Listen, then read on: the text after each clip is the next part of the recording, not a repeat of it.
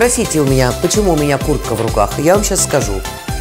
Меня зовут Лолита Милявская, я получила письмо. Вместе с командой Дорожного радио приглашаю вас на Московский фестиваль путешествия в Рождество. Целый месяц с 14 декабря и по 13 января на площадках по всему городу вас ждет незабываемая праздничная атмосфера и лучшие развлечения для всей семьи. Вкусные угощения необычные сувениры. И, конечно же, очень-очень-очень много нарядных елок. Короче, я даже не собираюсь дожидаться этих дат. Я просто надеваю куртку и встречайте меня на площадках.